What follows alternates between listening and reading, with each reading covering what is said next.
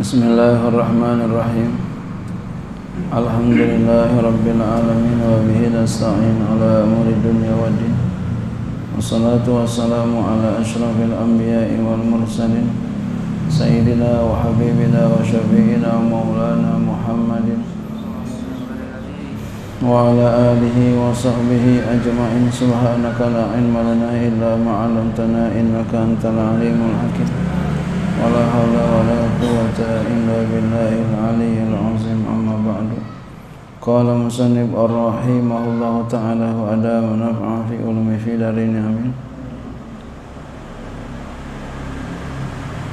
ويستحب فيه أسياب البيد والطيب والغسل والبكور مستحب.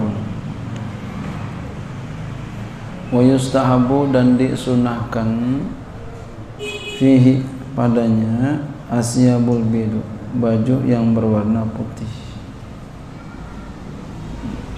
Jadi kita kalau sholat Jumat bajunya putih pak. Pakaiannya putih. Kalau bisa atas bawah putih.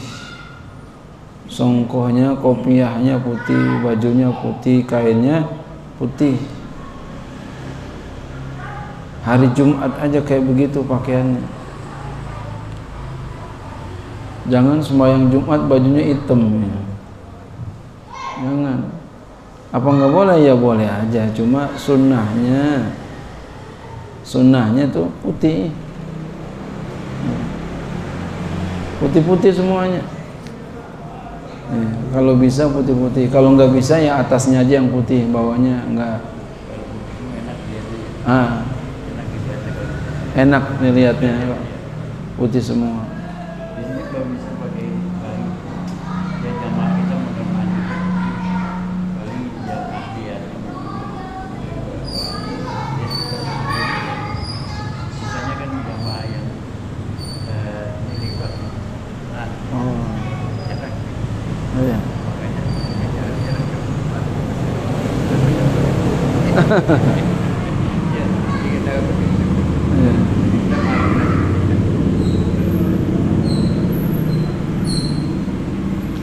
Jadi kita usahakan semaksimal mungkin bisa sholat Jumat semuanya putih. Ya, atas bawah putih sampai kopiahnya juga putih. Kalau enggak ada benar ya atasnya aja bawahnya enggak. Atasnya putih sunnah Nabi ini perintah Nabi. Kalau kita benar-benar ngaku cinta sama Nabi ikutin.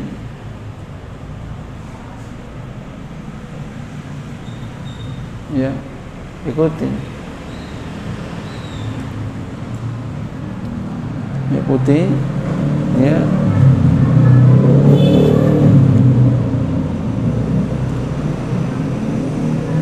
Jangan yang lain-lain. Putih aja hari Jumat aja pakai itu bajunya putih terus. Makanya supaya jangan apa enggak dicuci khusus baju putih itu yang khusus ini baju putih yang ini kain putih yang ini songko yang ini kalau memang kita kadang kecuci mulu khususin ini pakaian buat hari Jumat. Dikhususin Nah, jadi nggak kelupaan. Ini. Iya dicuci. Ya, jangan nggak dicuci. Jangan juga nggak dicuci, dicuci juga. Jadi di hari Jumat kita pakai pakaian yang bagus sekali. Ya, yang bagus sekali bahkan boleh pakai imam ini.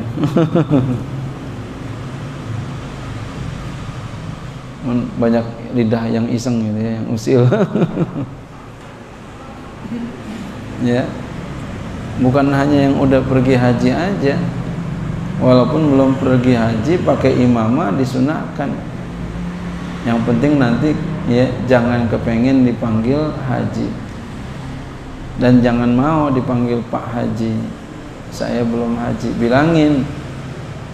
Jangan bilang jadi doa. Iya. maaf saya belum haji. Saya pakai ini untuk sunnah.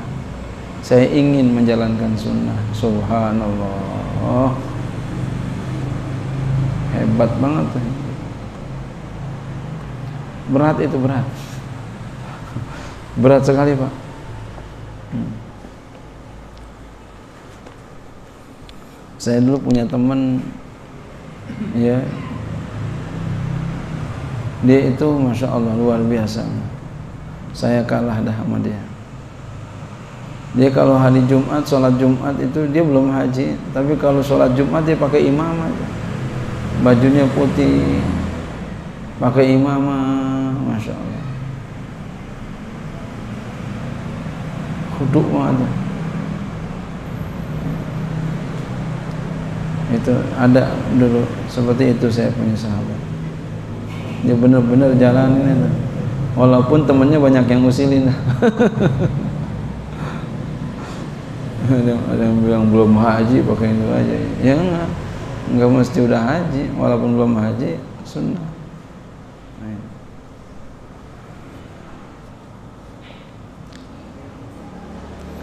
Ini kadang udah haji nggak mau pakai imam ya pakai imam kalau nggak bisa ntar saya ajarin. Ya.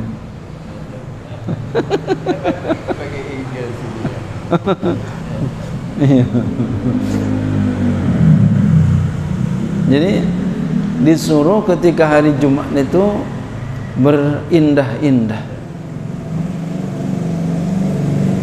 Biarin orang kata apa biarin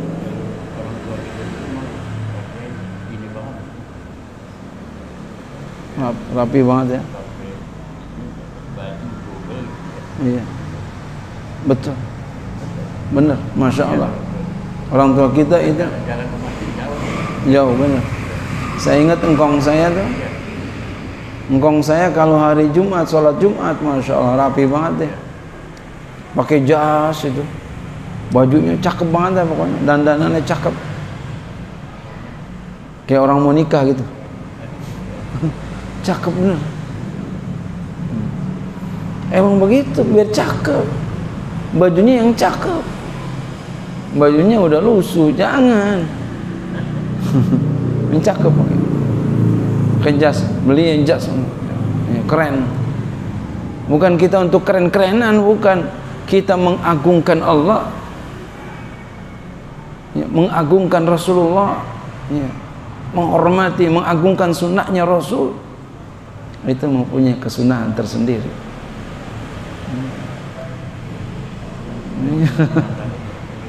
Ya khusus zinatakum. Begitu pakai baju yang bagus. Beli jas jas mini aja lah ini ya. Pakai sorban. Nggak usah malu-malu. Sorban kita Allah. Orang mau bilang apa terserah. Masya Allah. Sih asing kan kalau biasa sih enggak. Iya enggak biasa. Ini sunnah Nabi, Masya Allah. Watibu dan minyak wangi, pakai minyak wangi. Beli ya, beli murah minyak wangi mas sekarang banyak di warung-warung warung-warung ya sekarang banyak yang jual minyak wangi beli murah wa guslu mandi sunnah mandi. Jangan sampai enggak mandi. Kenapa? Karena banyak orang takut nanti mengganggu orang. Apalagi dia mempunyai, mempunyai bau badan. Iya bau keringat. Wal bukuru musta'abun berpagi-pagi itu disunahkan berpagi-pagi disunahin ya kecuali seorang khatib nah, kalau khatib boleh entar-entaran. Qala Nabi bersabda Nabi sallallahu alaihi wasallam Man raha fi sa'atil ula fa ka'annama qarraba badanatan. Wa man raha fi sa'ati saniyati fa qarraba baqarat Man roha siapa saja yang berangkat pagi fi saatil ula di waktu pertama faka annama maka seakan-akan korba badanatan. Dia berkurban seekor badana ya. Onta jadi dia pergi di waktu pertama dia seperti berkurban seekor onta jadi dia itu nilainya nilai pahala berkurban seekor onta. Ya, ini boleh juga sekali-sekali kita kerjain walaupun sekali dalam seumur hidup. Jangan sampai kagak sama sekali.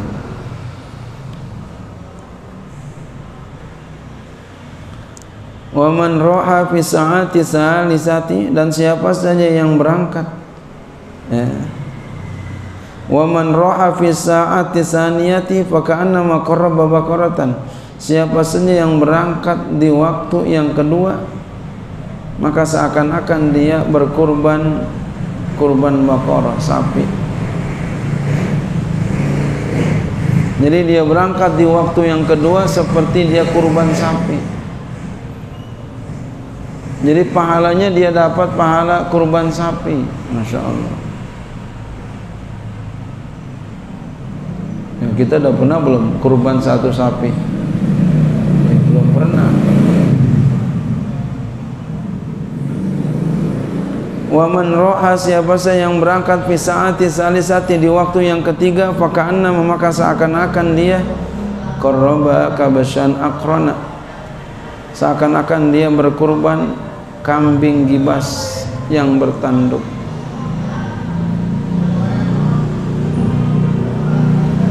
kambing gibas yang bertanduk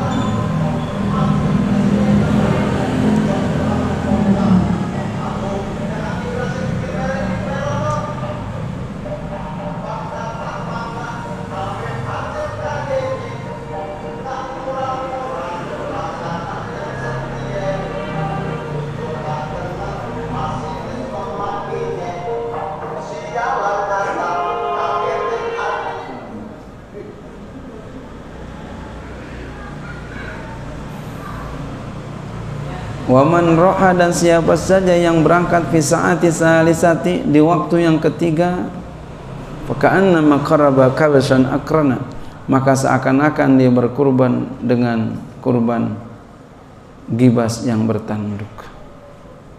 Berarti kita yang bagus kalau berkurban kambing gibas yang bertanduk.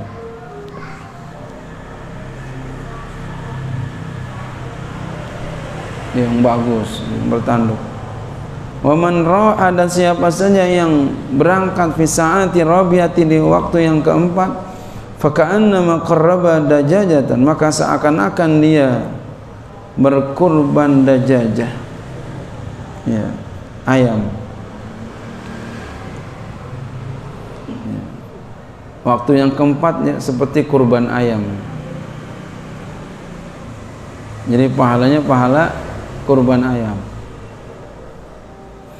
Waman roha dan siapa sih yang berangkat fi sa'atil khamisati di waktu yang kelima? Faka'annama qarraba baidatan maka seakan-akan dia berkurban kurban telur. Dapat telurnya.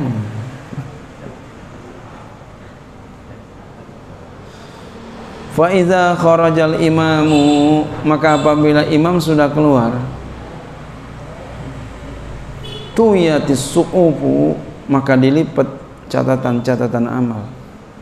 Warufi'atil aklamu dan diangkat kolam-kolam.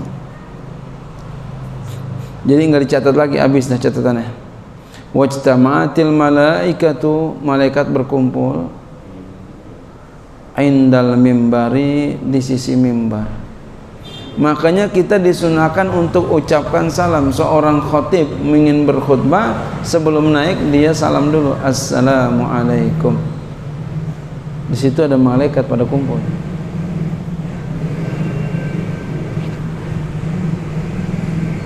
Jadi niatin salam kepada malaikat.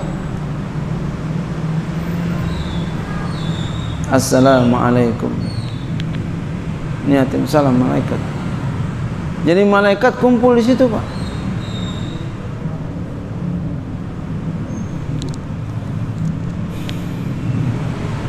Jadi sesungguhnya kita berkhutbah, malaikat dengerin khutbah kita. Malaikat dengerin khutbah kita.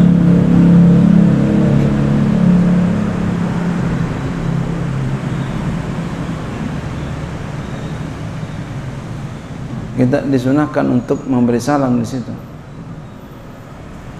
Dan dijawab salam kita oleh malaikat, insya Allah khutbah kita didoain oleh malaikat. Biar bagus.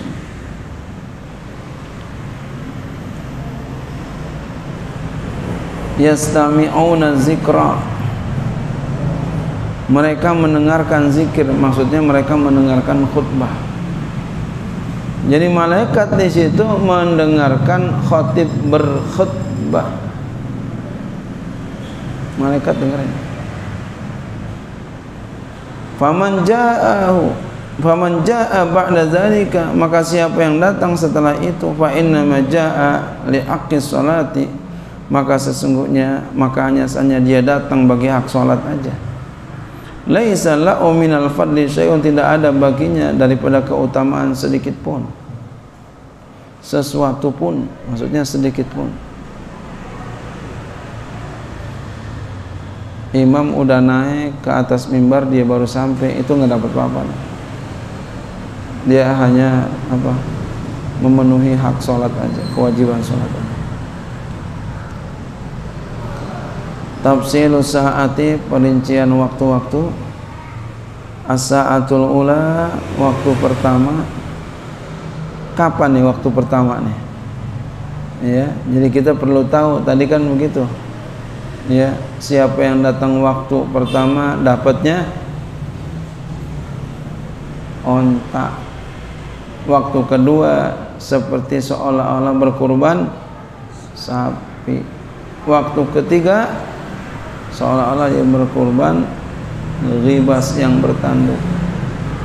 Waktu keempat ayam. Waktu kelima telur. Telurnya. Masya Allah. Nah tuh waktu itu apa tuh waktu? Di mana di waktu itu? Tafsiru saati perincian waktu-waktu as-saatul ula ila tulu'i syamsi. Waktu pertama itu ya, sampai terbit matahari dari mulai subuh. Jadi waktu pertama dari mulai subuh sampai terbit matahari. Jadi boleh sekali-kali kita ya rumah kita dekat di masjid ataupun bukan enggak dekat di masjid kita ngamalin ilmu datang di waktu yang pertama. Sekali-kali walaupun hanya seumur hidup sekali kita amalkan. Ya paling orang tanya sekali doang lu ngapain? Enggak niatin i'tikaf. Subhanallah masya Allah. Kalau kita lagi ada waktu luang lagi libur gitu kita duduk di masjid. Dari habis subuh masya Allah. Sampai terbit matahari. Wasaniatu yang kedua ila irtifaiha sampai naik matahari. Matahari mulai naik. Kalau tadi sampai terbit matahari. Kelatan nah, habis itu waktu yang kedua tuh sampai naik. Wasali satu yang ketiga ilan bisa ya sampai terhamparnya. Ya tengah lah ya tengah Berarti apa? Tengah berarti waktu duha jam sembilanan. Warabi'atu wal khamisatu yang keempat dan yang kelima ba'da duhal a'la ila zawali. Setelah duha yang tinggi yang atas sampai gelincir matahari. berarti apa jam setengah sepuluh itu waktu keempat kelima setengah sepuluh ya.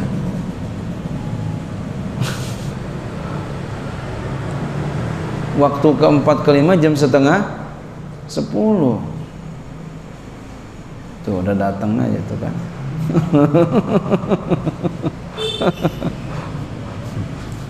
Tuh kayak begitu ibaratnya tuh.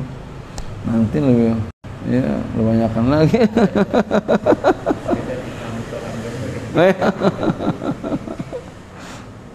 Masya Allah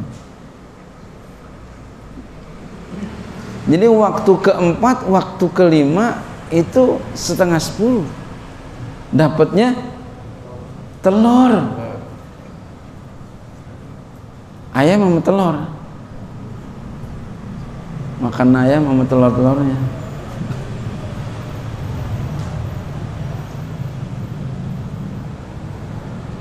Ini bagi yang ada luang waktu. Kalau kita ngajar yang nggak bisa.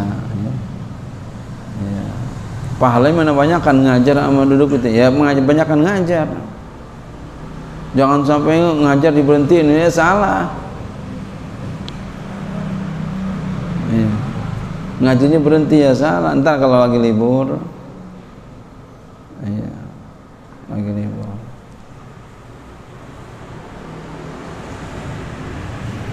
sekali aja seumur hidup sekali kalau enggak sama sekali.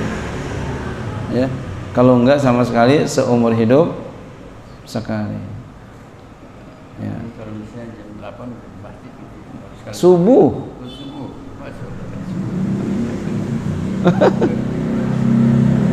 Jadi waktu pertama dari sini. Waktu pertama sampai terbit mata hari berarti habis sholat subuh jadi waktunya habis sholat subuh tuh waktu pertama sampai terbit mata hari.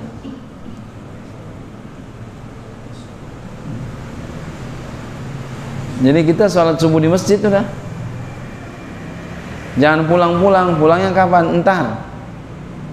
Ya habis sholat Jumat, masya Allah kayak di Mekah itu ya. Sekali aja begitu sekali. Maksudnya sekali aja, maksudnya jangan sampai kagak sama sekali. Kita rasakan seumur hidup kita walaupun sekali.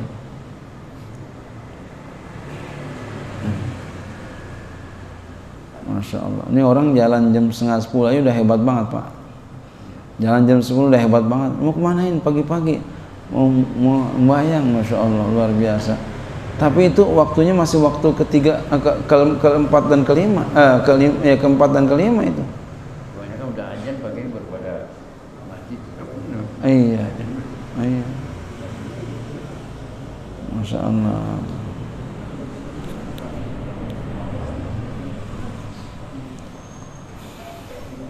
Iya, jadi sekali-sekali kita kerja ini. Walaupun seumur hidup sekali. Ini kan dekat, ini kan masjidnya, dekat masjid kita nih ya. Datang tuh. Habis sholat subuh jangan pulang lagi dah. Bawa lontong nggak apa-apa. iya bawa lontong apa semua iya bawa air di, di tempat di botol bawa nggak apa-apa ada lontong ada air subhanallah masya Allah masya Allah